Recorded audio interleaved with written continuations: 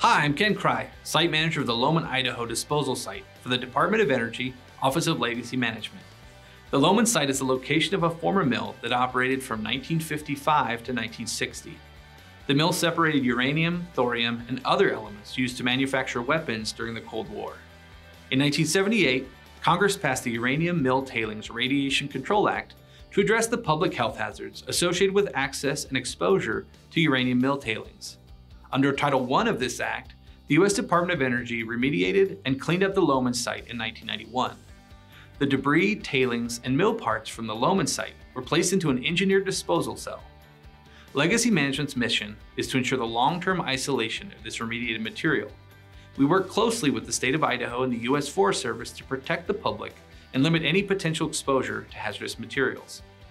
The Lowman disposal site is inspected annually and maintained to ensure that the site continues to work as designed.